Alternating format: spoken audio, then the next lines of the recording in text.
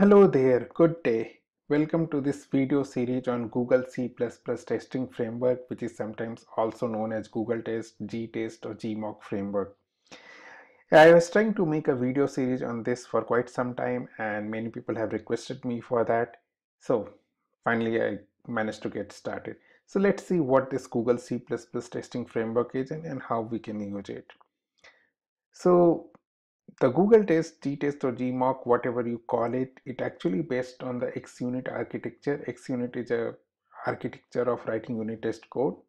It is portable and reusable, so you can use the same test on Linux, Mac, and Windows.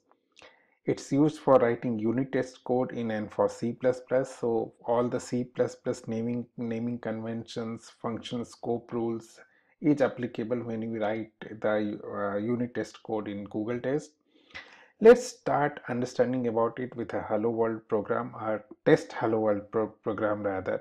So before we can write a test Hello World, we need to install um, the Google Test in our machine, whatever that machine, Linux, Mac or Windows. To install that, we have to go to this particular GitHub page. You'll get to know the instruction how to download and make the libraries of Google Test. And we will start after installation how to write a uh, simple hello world test hello world program. Okay once you start google test on your system uh, you will get two libraries called gtest.a and gtest underscore main.a i am using ubuntu so i am using uh, ubuntu libraries. Uh, not only we have these two libraries but we'll also include the header file called gtest.h and to start running google test is to call this particular line of code which is testing scope resolution init google test.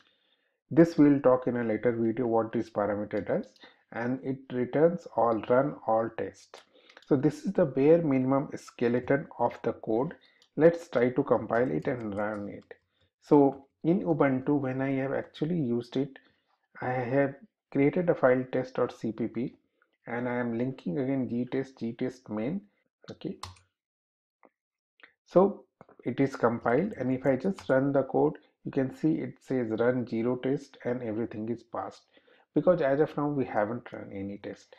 Now how to add a test case over here?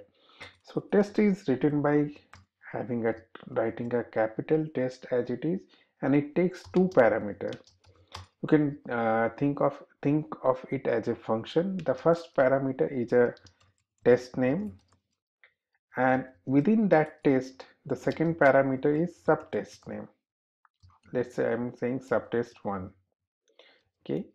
And whatever we uh, assert in this particular test case will be the result of uh, the particular test. For example let me assert for success. I'll say assert true uh, for example let's say 1 is equal to 1 okay let me go ahead and save it uh, clear compile it again and run it again. So you can see that my google test is giving me the output that it had run one test which name is test name dot subtest one. It took this much time and it is passed.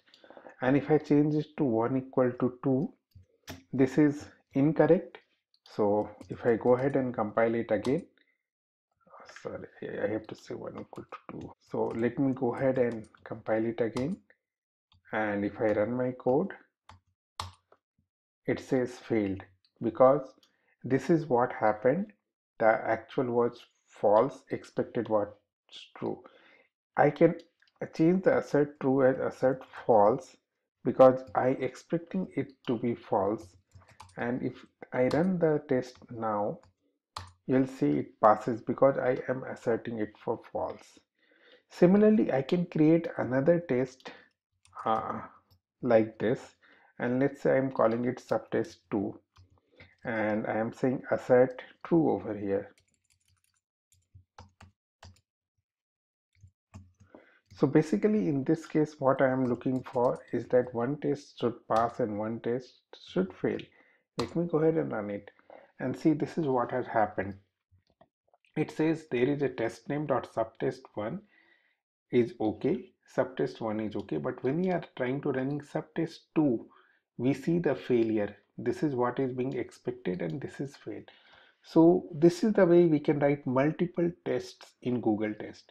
Now uh, the output is like test name dot subtest one. First it runs then test name dot subtest two it runs basically the test name is the name of the test. I can have test name 2 over here and subtest 1 of test name 2 let me go ahead and run it and see uh, compile it clear it and run it. Now you can see that it is actually taking test name 2 as a separate test. You can see there is a space one test is successful and it is treating it as a different test case so this is the way you can create one main test and many subtests and something like this so this is the very basic hello world of the google test assert true and assert false are very basic way of uh, checking the validity of something there are many other assertion failures uh, let's look into those. The second topic which I want to touch upon in this particular video is assertions. So assertions as any programmer would know that it, it's an way of checking the output as true or false. So in Google test assertions leads to three particular scenarios. Scenario number one is whether the assertion is successful. Scenario number two is assertion is failed but the failure is non-fatal. Assertion number three is um, assertion is failed but the failure is fatal. So the difference between non-fatal and fatal failure is that in case of non-fatal failure, the execution of code of particular test doesn't stop. It continues after the failure also. But while in the case of fatal failure, the execution of test code stops at that point, that place. Okay. So we have seen there is something called assert true and assert false. There are other assertion mechanism in Google test like assert EQ. I mean it means assert equal to and equal to can also be checked using expect equal to. So what is the difference between these two? So in case of success there is no difference because the assertion is successful. But expect EQ leads to non-fatal failure while assert EQ leads to fatal failures. So wherever we are using assert in Google test, it leads to fatal failure. Wherever we are using expect, it leads to non-fatal failures. Let's see, let's go ahead and see the code. Okay, so now we know there are three types of output coming out of an assertion.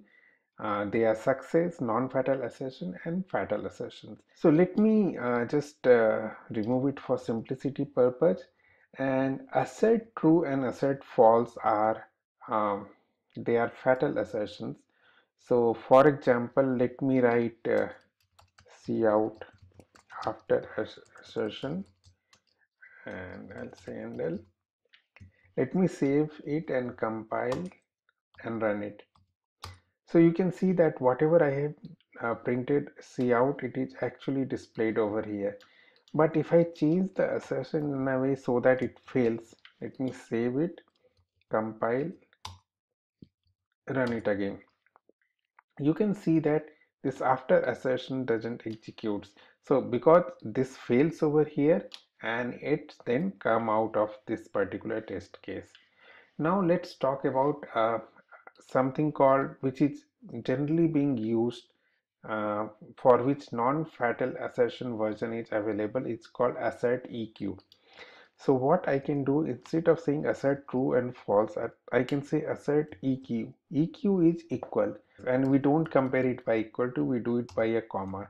So 1 is equal to 1 so it should be successful and let me go ahead and run it. And see it is successful and after assertion is printed. And if I change it slightly as 1 2 which is a failed statement uh, should failed we can see it failed and after assertion doesn't uh, execute. Now the non-fatal equi equivalent of assert eq is expect eq so this condition remains a failure condition. And let me go ahead and compile and run it again. And you can see that even if the uh, test is actually failed. It doesn't stop the test. It after assertion gets printed over here. So it's a non-fatal assertion. Non-fatal means the execution doesn't stop it. And if we use expect the expect versions are non-fatal and assert versions are fatal. Okay so we have seen um, equal assert equal and expect equal and how we can use that. There are various uh, um, various other macros which can be used uh, for not for checking not equal we can use expect any and assert any. For less than we can use expect lt assert lt for less than equal we can use expect le and assert le for greater than we can use expect gt and assert gt for greater than equal we can use expert ex, sorry expect g and assert g. And it's not to mention that wherever we are using expect it's a non-fatal failure. And wherever we are using assert it's a fatal failure. So that's pretty much uh, everything about this video. Uh, we'll see more examples in the upcoming videos. Uh, thanks a lot thanks for watching guys. Please do not forget to subscribe to continue getting notification for the upcoming videos. Thank you